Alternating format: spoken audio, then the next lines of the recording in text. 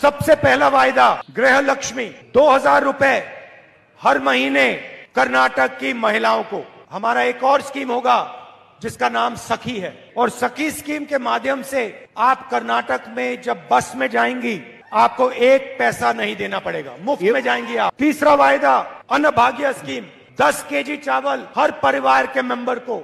चौथा वायदा गृह ज्योति 200 यूनिट मुफ़्त में बिजली हर परिवार को।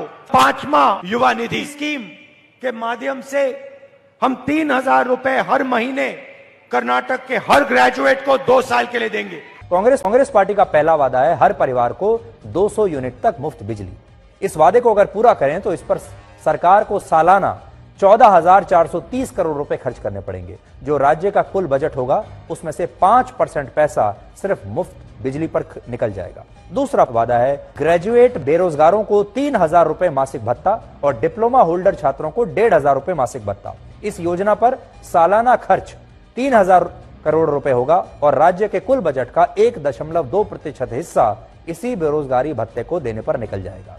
तीसरा वादा, प्रत्येक परिवार की एक महिला को दो हज़ार रुपए मासिक भत्ता। इसे लागू किया गया तो राज्य सरकार को हर साल तीस हज़ार सात सौ बीस करोड़ रुपए का खर्चा आएगा और कुल बजट का साढ़े बारह परसेंट हिस्सा इस योजना को लागू करने पर खर्च होगा। चौथा वादा, हर गरीब व्यक्ति को 10 किलोग्राम मुफ़्त अनाज। इस पर सालाना पाँच हज़ार करोड़ रुपए का खर्च और राज्य के कुल बजट का दो परसेंट भाग इसी पर खर्च हो जाएगा। और पांचवा वादा है, हर महिला को सरकारी बसों में मुफ़्त सफ़र की सुविधा। इस खर्च का अनुमान निकालना अभी थोड़ा सा मुश्किल होगा, लेकिन इससे भी राज्य के कुल बजट पर काफ़ी नया बोझ पड़ने वाला है। इस समय कर्नाटक की कुल आय दो लाख छब्बीस हज़ार करोड़ रुपए है और उसका कुल खर्च दो लाख सतासी हज़ार करोड़ रुपए है। और राज्य सरकार सालाना जितना कमाती है, उससे साठ हज़ार करोड़ रुपए ज़्यादा उसे खर्च करना पड़ता है, जिसे हम राजस्व घाटा कहते हैं।